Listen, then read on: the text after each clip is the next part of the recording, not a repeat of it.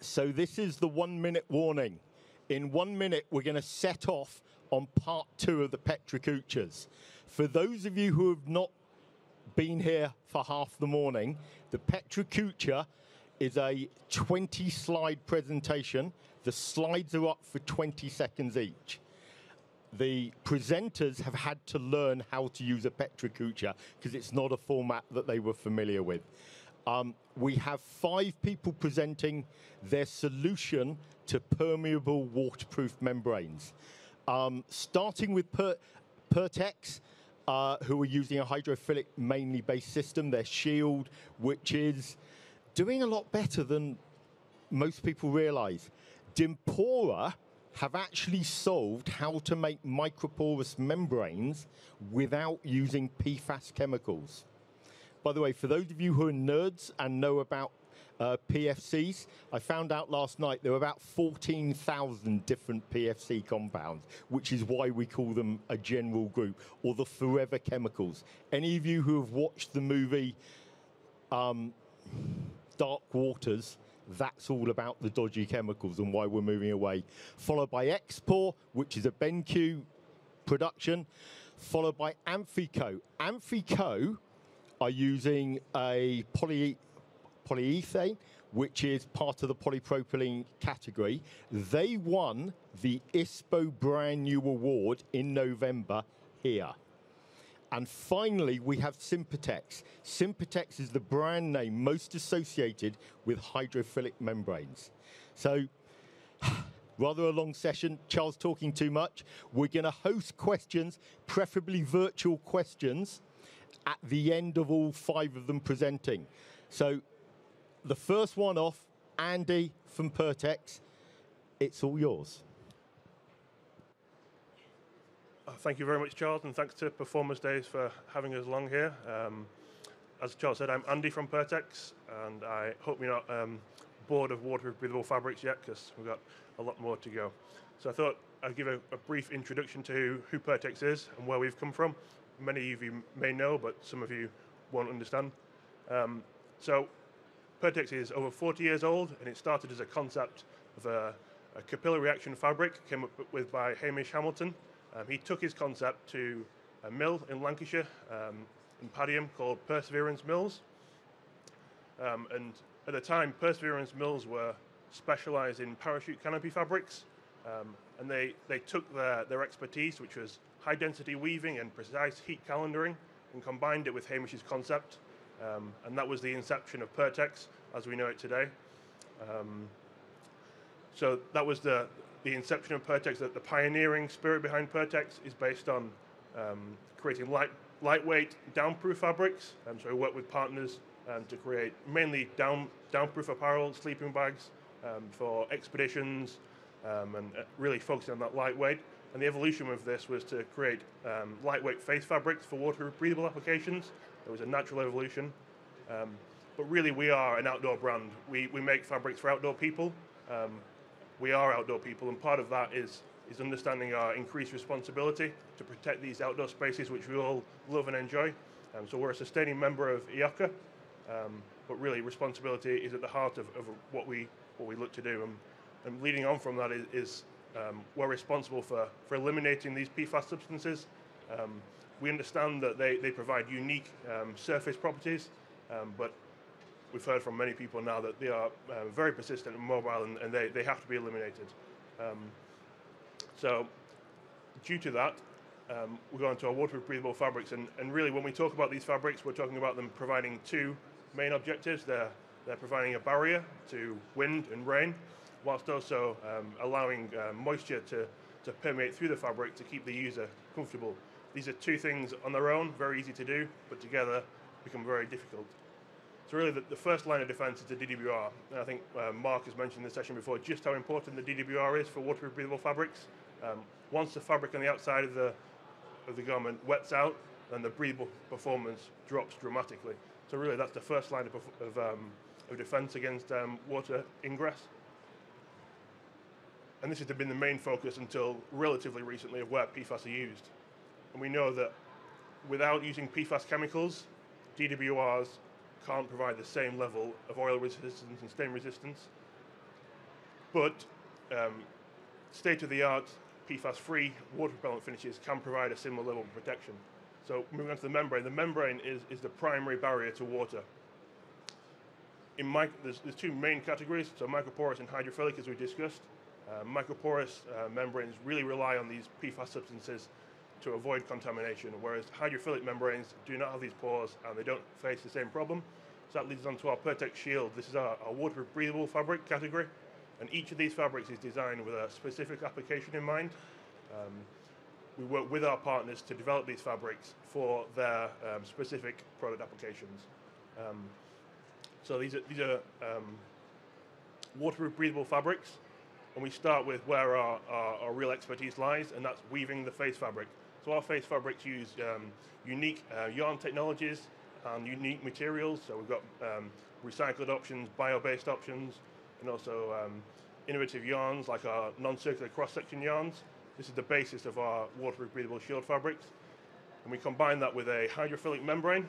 So the, the membrane provides incredible waterproof protection. It is hydrophilic and, and monolithic, so there's a, a solid layer which provides a, the, the, water and wind proofness, but it breathes dynamically. So higher humidities, you get um, more breathability. So the harder you work, the harder the membrane works. And there's uh, multiple different construction options. Um, so two, two and a half, and three layer options with um, super light jersey backers, dry touch finishes for the two and a half layer options. And this is where we, we, we work with our partners to develop fabrics for their specific applications. So where, where a three layer option, option might work for one, two and a half layer for a really packable option. And that leads on to our Revolve. So Revolve is a collection of shield fabrics based around fabrics for a circular future. These are monomaterial fabrics made entirely from recycled polyester. Recycled polyester face, recycled polyester hydrophilic membrane, and a recycled polybacker. So really, the, these fabrics are designed to be recycled at the end of their life. So the, there's no sacrifice on performance or durability. That is a, a, key key thing when we developed these fabrics is that they weren't um, a, a, down downgrading performance. They were they were just as performance um, specific as our other fabrics. Um, so we, we, had to work on creating new polyester face fabrics specifically for these. And then on from that, um, we have to think about the end of life of these. So we've worked with uh, recycling partners. Um, one specific example is we work with Ambercycle in the United States um, to make sure that our fabrics are compatible with the developing um, chemical recycling systems and to ensure there's no barriers to recycling. And that brings on to our um, endurance DWR technology. So as we said, PFAS-free DWRs traditionally haven't been able to be very durable. This is a real step change in the durability of PFAS-free DWRs. And it's a finish that actually coats the filaments of the yarn, providing incredible durable finish to both washing and wearing. Um, and I just wanted to finish up on really quickly on garment care. We, we have to understand that, that, that, that PFAS-free fabrics um, are, are, different to those that came before, and we have to educate the consumer that, that the caring for these fabrics has got to be different. Washing, reproofing, etc., is a really key aspect of this, and we need to have that conversation with the consumer. Um, so thank you very much for, for your time, and I'm Andy over at Pertex. If you want to ask any more questions, come and see me. Can we show appreciation for Andy? Um, if you don't know where Pertex are, they're over that direction towards the back wall. So we're going to swap over now, and we're going to have Mario from Dimpora. Dimpora are the ones who are using science, where everyone says you can't create microporous in this way. Dimpora has solved. So six minutes worth. Off you go. Thank you, Charles. Welcome, everyone. My name is Mario. I'm CEO and co-founder of Dimpora. I started this journey 10 years ago, actually March 13 with my master thesis. I started the world of designing, developing, and now marketing microporous membranes without ever touching a fluorinated molecule. And I mean, yeah, it's brainwashing. You've heard it 7,000 times now. We have to get rid of the fluorinated chemistry, um, but also we have to go towards uh, lower impact membranes, lower impact materials in our garments, in all of our lives, but especially also in high performance garments and we have to look into circularity. We at Dimpora have the solution. We have a technology that allows us to create membranes, and we actually have the process for the membranes. All the rest we have to combine with that are fluorine-free, that have a low impact on nature, and that in the future are circular as well. That's when we started. We started with four technologies on the market. You all know them, different versions, we've heard of them before. Amazing to look at from a chemical engineering perspective, how people made membranes work before we started. And nowadays we're there with Dimpora, with then after my PhD, the first uh, products out, now the first products with customers on the market. Our patented process looks like this. We start with little rocks that we put into polymers. I don't specify the polymer yet because they're interchangeable. We then make a film out of them and then we remove the rocks from the polymeric film and open up a porous system. This ready-made membrane in the end then laminated into laminates. This is what it looks like when the rocks are still in there and we already made the film. That's a membrane that is not yet porous, it's a solid composite and the polymer is all around it. And then when it changes and we wash out the particles, we can actually see that we open the pores. So now we have an open porous system um, that your body can breathe through, that is breathable, that is permeable, but the pores are designed in a way, and that's the part of the science, that without PFAS, you're not having the water enter uh, at a certain level of waterproofing from, let's say, 2,000 to 25,000 millimeters of water column. That's our first product on the market, Dimpora EcoPure. It's a traditional thermoplastic polyurethane. Um, falls within the supply chain. As a young company, it's quite important that you're able to do that. Uh, the performance parameters we have, we can provide here. As I just told you, we can play with them. If you want to discuss standards at our booth, we can do that. Most importantly, we do it without any solvents. Um, we, with this, based on our internal LCA, so internal, not third-party certified, um, we reduce 96% of the CO2 equivalents in that process by creating microporous TPU with our process. Our second product that we recently launched is uh, based on a PP material, so we get closer to this recyclability. Um, also here, regarding the discussion before, showing recyclability, a big topic. We're still working on that one as well. Waterproofing is higher due to the naturality of polypropylene, and breathability still at very high levels. But we cannot and we will not stop there. Our technology is a big playground. We have different versions of opportunities to go still into. Some of them we're pushing ourselves, some of them we're looking for partners to push together, and I will discuss them individually so you understand what we are looking at in these categories.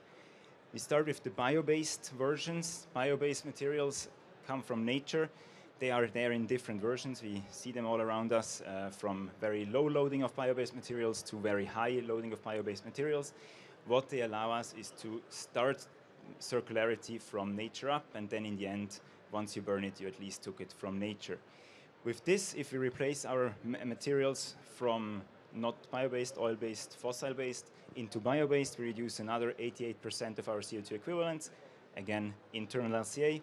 And so bio-based has to be one of the stepping stones into a circular future within membranes and also fabrics. Then we have monomateriality goes along with all our membranes. If we use a material that is already used in a fabric and make a membrane out of it, combine them into these monomaterials that have been mentioned many times before, the access to recyclability or reusing these materials in the supply chain is much, much better, and that's with our technology possible. Biodegradability, the probably most complicated one of these opportunities. We focus on the shedding of microplastics and micropollution um, but biodegradability and durability of our high performance garments are currently still in a discussion. So, how long does it have to last? When does it have to degrade? We are careful with that and looking into the opportunities there. 3D membranes, due to our uh, the composite you saw with the rocks inside, we can create pieces like this. We can create microporous membranes in one piece. We don't need a seam and we don't need a seam tape. This is something we're looking for partners to work on with um, to create socks, gloves, or also full jackets.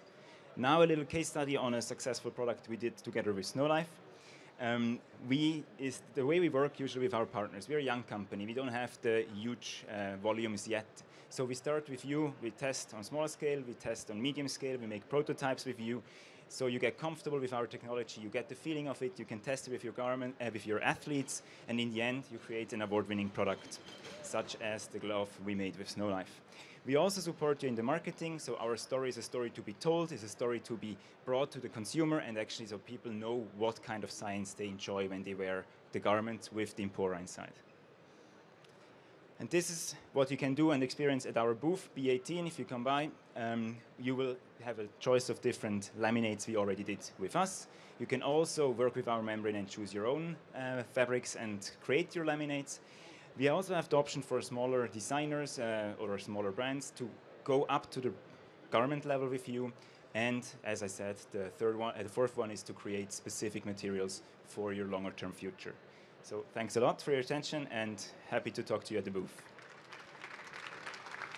Mario, that was great. Um, the next one up, can I pass it on to Henry from BenQ? But he's going to talk about their membrane Xpore. So Mark Taylor's doing the clicker. Um, Mark, can we have the first slide up, please? Wherever Mark Taylor is. Nope, There we go. not the first slide. Okay. Can we go back to the f- to the first slide? There we go. Okay, so starting from now, Mark Taylor's going to be pressing every 20 seconds. Take it away, Henry. Okay, hi everyone. I'm uh, Henry from BenQ Materials, and I will introduce a new product today.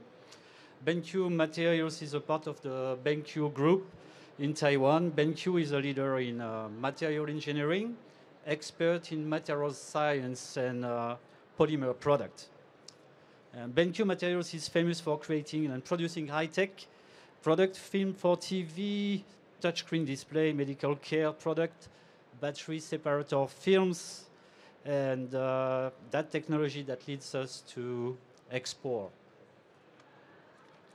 Xpore is a total solution for performance textile uh, that includes uh, membrane production, glue production, lamination, merci, lamination, and seam sealing tapes. Um, everything is engineered and produced in-house by uh, BenQ Materials, so there is no subcontracting. The core of the Xpore is BenQ Materials nanoporous membrane, so nano porous. Pore size is nano uh, 100 nanometers, sorry. Very small pores. This allows us to have a very high pore density for a true breathability and no compromise. So we have a lot of pores, but uh, uh, that's great for, for, performance, sorry, but the most important is that our uh, product is uh, PFC free, so no uh, PFC here. It's made of PP polyolefin material. So PFC free, but also solvent free, meaning that we do not use solvent to create the pores. In fact, this is thermal expansion, so we pull the film to create the pores. There is no chemical involved. So PFC-free, solvent-free, but also we do not release harmful substance in the atmosphere, but we still uh, produce some CO2 because we need energy. So by 2024, 100% of the full process will be powered by our own uh, solar panels. So we do everything by ourselves, and the membrane production, solvent-free glue, uh, the lamination, of course, everything under our control and done by uh, BenQ Materials. So there's, again, no subcontracting. Everything in-house except the textile, because we are not weaver, not knitters. And for this part, we rely on uh, certified partners in Taiwan uh, that have all the required certification to produce high-quality fabrics. And uh, talking about quality, we are an electronic company, so we follow electronic standards. That's very high standards. The product we deliver are tested from raw material to finished goods. Uh, basically, we test uh, everything. So we control everything, but doesn't mean we are not uh, flexible because the solution, we, with this solution, we can engineer um, many different uh, product and customized product but we will always do it uh, with uh, sustainability in mind. With the Xpore solution, we can laminate everything, all kind of fabric, woven, knits, uh, non-woven, whatever the material is, uh, synthetic, artificial, or natural fibers, basically no limitations. So up to now, Xpore provided three-layer fabric, but today we are introducing a 2.5 layer, and uh, the name is Agile. Agile membrane. Uh, the three layer was protected with a backer, but for the 2.5, we uh, protect the membrane with a solvent-free and PFC-free coated layer.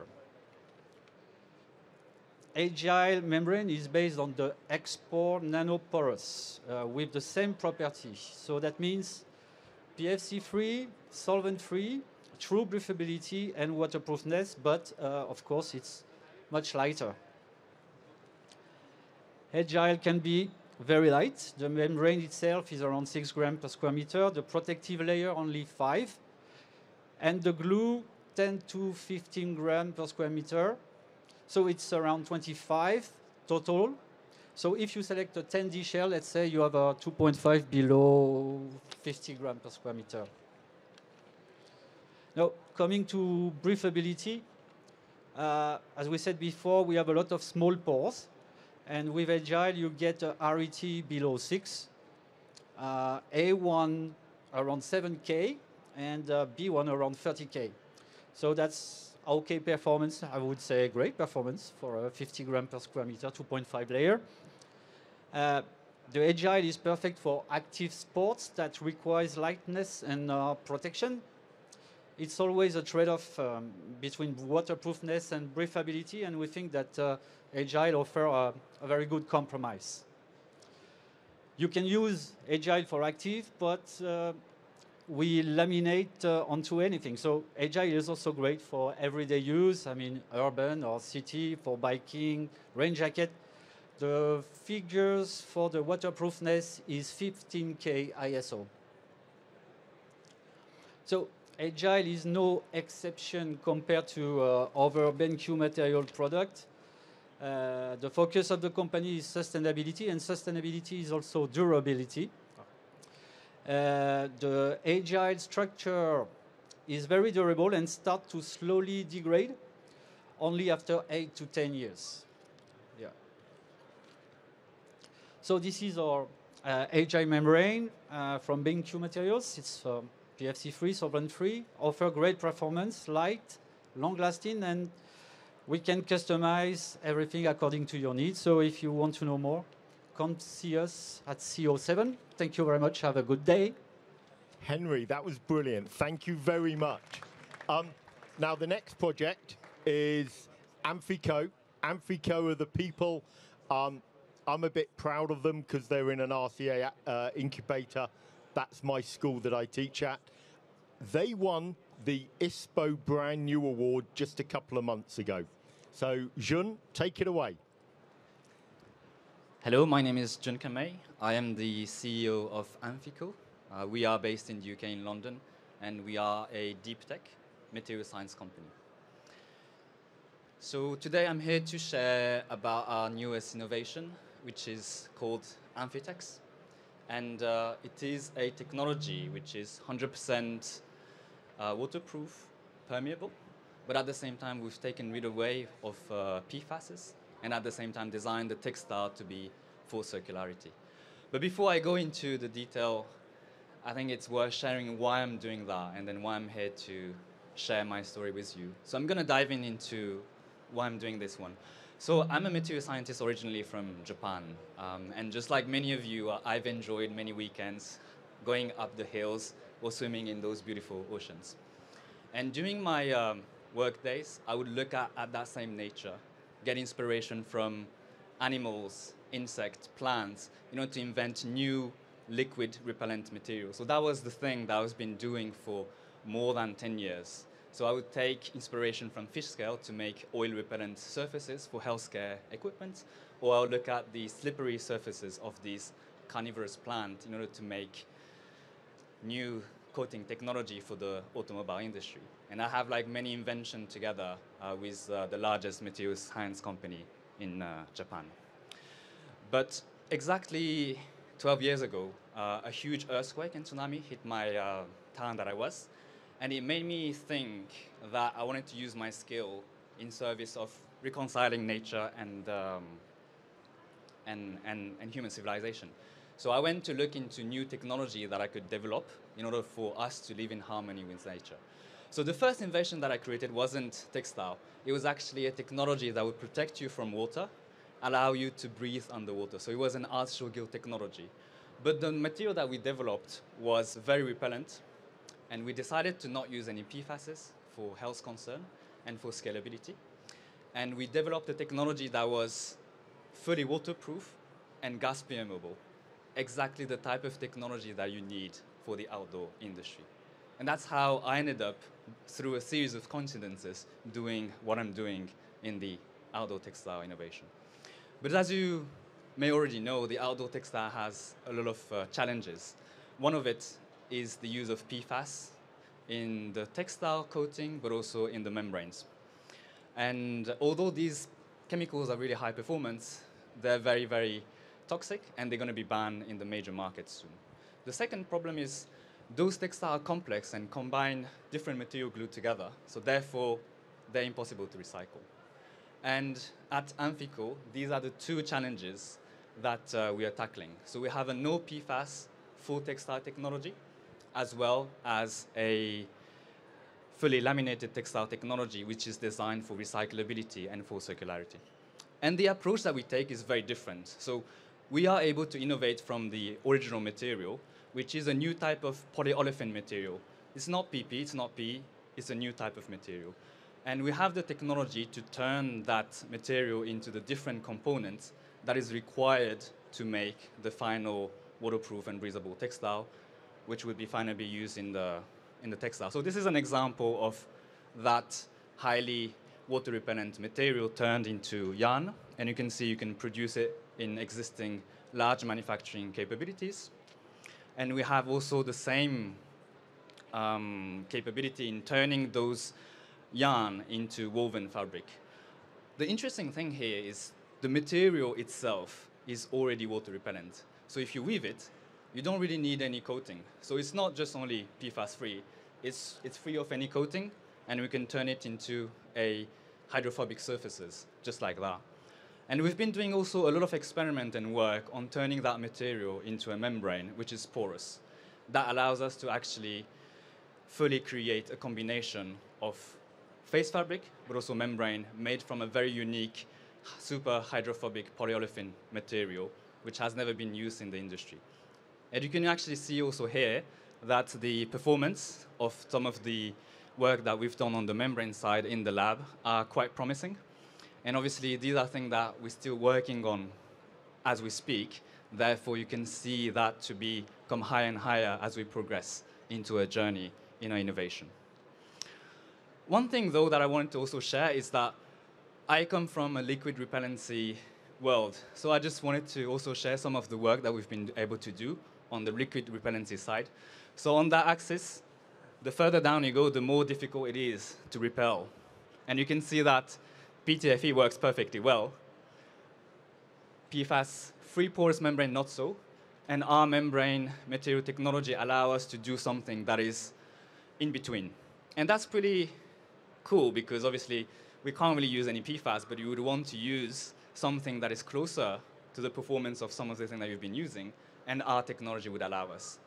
And one of the reasons we've been able to do all of those kind of things at the same time is because we are a unique combination of diverse talent. So I am a material scientist with deep background in coating. We have people who worked in the innovation team in the large sportswear and we also have like expert in the membrane fabrication side. So our mission at Amphico is to work with you, learn some of the challenges in order to help the outdoor industry go one step further toward a circular future. So from my side, instead of selling you the solution, I'm more interested in learning about your challenges because what I like to do is to think outside of the box and think together on how we could change for a better world. Thank you very much. Can we show our appreciation for Jun? Um, two things to mention. One, all the presenters are sticking around afterwards. So we are going to take questions, virtual questions as well, so you can ask the entire group of them the same question. But then they will also be available to pick on on a one-to-one basis if you want further conversations. But Kim, can I ask you on stage? Kim is from Sympatex. When I joined the outdoor industry 30 years ago, Sympatex was the only name in hydrophilic. They are still leading the way all yours. Mark Taylor's going to be doing the slides, aren't you? Mark Taylor is still going to be doing the slides. Thank you, Mark. So here we go. Get ready to be blown away by Sympatex. My name is Kim Scholze. I'm outdoor enthusiast for quite a while, and I'm a member of the Sympatex crew. For my mindset, I love teaming up, I love sharing solution, and joint energy for the textile industry. So we are not. Oh, are you taking the 20 seconds? Funny thing. So we are not just a um, textile company. We are Sympatex, and we are here to change the game. We are more than a membrane, and we are your partner for R&D, for service solution, solutions in a pre-competitive value chain. And of course, we are PFAS-free. What makes Sympatex so special? We are not an average material provider. Our products are 100% recyclable, and we are committed to sustainability and to environmental protection. Plus, of course, fully waterproof, highly breathable, and completely windproof. With a unique, made, with a unique range of materials, we are here to finish, create unique designs. Our commitment to climate change is to make sure that we work with scientists, NGOs, activists, and provi provide support in all possible fields of play. We include ourselves in high political involvement of the textile strategy in our man management board, and all members of Sympatex know about the individual responsibility to change. Because we are the first generation that will not leave a better world for our kids. But we are the first generation that will be able to close the loop. We are designing products that are created, sorry, for reuse, repair, and recycle. That means less waste, less pollution, and a greener, more sustainable future for us all. So let's get creative. To collaboration is key to circular economy. We are a cooperation for everyone, individuals, businesses, and organizations. It's a little faster than I thought. so Sympatex is the ultimate in performance fabrics. Our materials are waterproof, windproof, breathable, and lightweight, and with extremely high abrasions, abras abrasions resistance. I'm sorry. So, getting a little faster. We want to leave no traces on the planet that the planet cannot deal with. At the end, it is important to clear goals to minimize footprint before and after production. We collaborate with Microfiber Consortium, Plastic Soup Foundation, Planet Care, and joint projects with Qantas. No to PFAS. This finally being claimed. It's important for all of us to make clear that not the whole outdoor industry should be in focus. There were lots of messages, like from Sympatex and others, that eliminated PFAS early enough for more than good reasons. Recycled polyester requires significantly less water during production than new crude oil-based polyester. So the water savings are outstanding at around 90%. Instead of 60 liters water, it is only 3 liters water which are needed. Sympatex is more than just a company. We are a community and a certified leader in sustainability textiles. We are committed to social responsibility and we work with our high standards. Our company structure, as well as all materials, are certified by independent organizations. So how does our technology work? It's all about the membrane where innovation meets performance. For all our products, we deliver best performance and service solution. So let's deep dive why and what's the difference. It's the homogeneous and pore-free structure not pores, but a physical-chemical principle. Hydrophilic water-loving molecule chains absorb the water vapor, and the higher the temperature and the humidity difference works, so the more you sweat, the greater becomes the effect. It works dynamically and it adapts perfectly to all conditions. Production process with responsibility. We are becoming increasingly independent of fossil raw materials with bio-based and pre-consumer recycling to produce our membrane. Bottles and used textiles are now our source for raw materials. Partners and communities like Accelerating Circularity and wear2wear are the source for good for us. This is already the summary. We offer high-performance products, 100% recyclable, PFAS-free, and we offer fiber-to-fiber laminates, minimizing, minimi minimizing waste in our production, offering undyed laminates. This is an insight on our value chain because we believe with sustainability, it's the most important process, for example, for research and development guidelines for eco-design, production support, quality control, as well as audits and clinics, while securing the most possible sustainable value chain. So innovation meets performance. When we talk on welding and assembly technologies, there is one insight, the most important for us. Future revolution, atmospheric by Sympatex. It's a one-piece 3D booty without cutting, stitching, seaming, fully optimizing your production process. When you choose Sympatex, you're not choosing a high-performance material. You're also making a choice for environmental sustainable production, and we work together with our customers to create customized solutions. We believe in teaming up and to improve your products. So take a deep breath, join us on our thoughts, get ready for Lisa and for all of us for the question and answer session, and feed us with your thoughts. Thank you, and back to Charles. Kim, brilliant. Um, we now have a barrage of questions, and can I make two calls? Sebastian, thank you for actually putting your name on questions, which means we're going to prioritize you. But we have very specific questions. So I'd like to call Jun first onto stage. Kim, if you could give him the microphone. Um, Jun, the question is not exactly your category, but you're the best to answer it. I am still concerned about polypropylene oleophilic properties. Will this hold up long term with oil from the skin contaminating the membrane? Oh, that goes to Xpore. So can you make the answer and then we will get Henry from Xpore to come on the back of it? Perfect. So I'll answer first. So first of all, we as Amphico, we're not using uh, polypropylene as a material. So um, it doesn't directly apply to our case, but I'm going to answer using my knowledge of materials.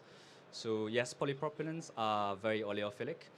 Therefore, if you have a porous membrane without any covers, uh, it's likely that you would capture oil into it. Um, the, and I think that's something that is quite, quite difficult to, to change. So there's, there's obviously two solutions to that. One is to use a material that is more repellent toward oil than polypropylene within the polyolefin category, which is something that we're doing. Or the second um, solution to that challenge is to make the whole porous PP easy to wash the oil away. And that's probably innovation on the detergent side that is needed rather than like innovation on the specific membrane side. So answering from uh, my knowledge of materials. Brilliant. William, um, or Xpore, would you like to take the stage to answer the question?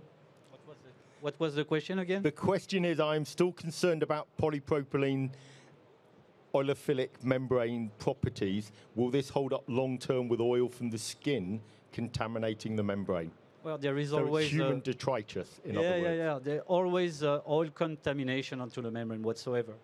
Uh, but uh, the uh, Xpore membrane uh, is not it's not concerned about this the way we were before with PTFE or oil contamination, if it's about the question. So I would say in the lifetime between 8 to 10 years be before it starts to degrade, the answer is no. Brilliant. I love exact answers. Um, the next question's for Dimpora. William? Uh, uh, Dimpora, 3D membrane, is that the spray one? If so, how do you solve the adhesion? Is it in the membrane or coated onto it? So yes, the 3D membrane is in one version the spray one. Um, the adhesion is actually special, like the the big thing to solve, and it's in the structure that we create by spraying it on in the correct pressures and in the correct depth. So you have intrusion of the material into the woven or knitted stru structure, enough, far enough in so it holds, and not too much so you see it through on the other side. And that's, I mean, engineering and yeah, trial and error in the end to figure this out. I hope this answers the question. Brilliant. Thank you, uh, Mario. Um, the next question is for Pertex. Uh, what guides the non-circular cross-section developments is the first part. And is there a process that helps improve the oil resistance of face fabrics without P PFAs? So the, first one on, on our non-circular cross-section filaments, um, this refers to our what we call our diamond fuse technology. So the filaments, rather than being round like a traditional conventional filament, they're, if you will, diamond shaped. So they, they lock together and create an extremely flat surface, which the, the primary objective is, is increasing abrasion resistance. Because the surface is so flat, the filaments can't be picked out the yarns like they would be on a conventional um, shaped filament yarn. Um, so really the, the primary benefit is the abrasion resistance. And then onto the um, oil resistance of non-PFAS treated face fabrics. Um, so really the, the, at the moment there's really no way of getting around it from, from, from our point of view is that face fabrics treated with non-PFAS DWRs do not have the same level of oil resistance as those that do. That, the, the, at the moment, that's uh, our, our position is that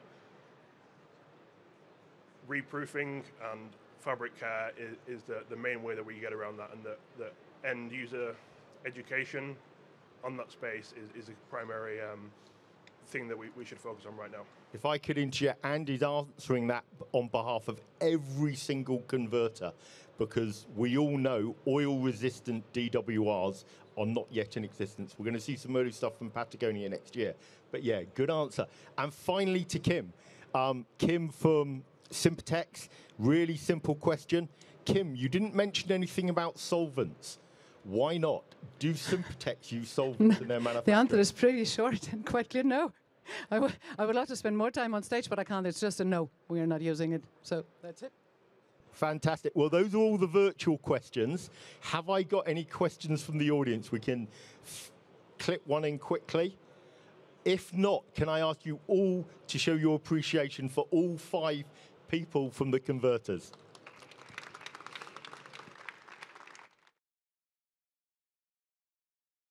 We're coming off stage for 10 minutes. Um, the good news is, in 10 minutes' time, you don't have to listen to me. Um, we have Katie and Marcus. Katie, for those of you who don't know, is another Leeds PhD person. She leads the sustainability program at the European Outdoor Group, the main NGO for this industry. She's working with Marcus on a really big project, which is getting results. So at an early stage, Marcus is better known to work for Gore. So 10 minutes time, Katie and Marcus will be on stage. I have had a preview and I think it's good, but you've got 10 minutes to take a break.